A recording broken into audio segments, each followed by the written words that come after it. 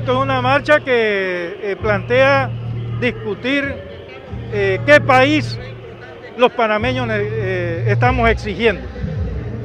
Estamos planteando que es necesario romper con el modelo económico neoliberal y eso trasciende el problema de la caja del Seguro Social.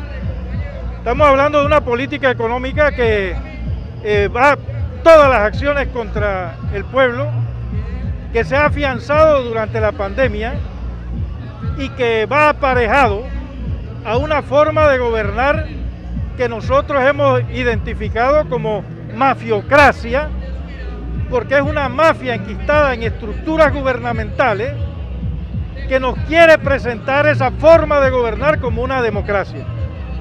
Y por eso nosotros le llamamos mafiocracia. Entonces se trata de una lucha, de un, problema integral. De la Caja del Seguro Social, por supuesto, es un tema que está en el ambiente de la coyuntura. Pero está también el tema del, del, código laboral, que ha habido una serie de modificaciones.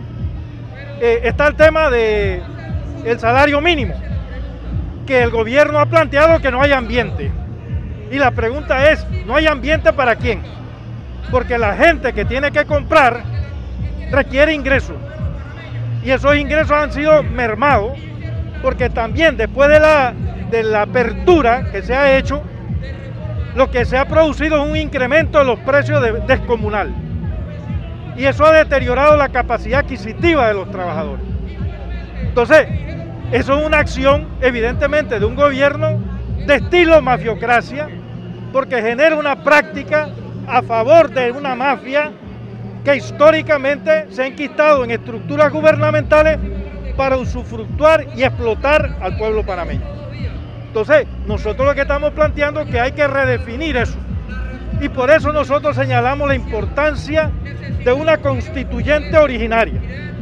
Una constituyente que descanse en las capacidades del pueblo de definir su propio destino, de definir qué constitución queremos porque no podemos esperar que las estructuras de poder que se sostienen en ese poder económico, que tienen una conducta de mafiocracia, genere una constitución que responda a los intereses del pueblo panameño.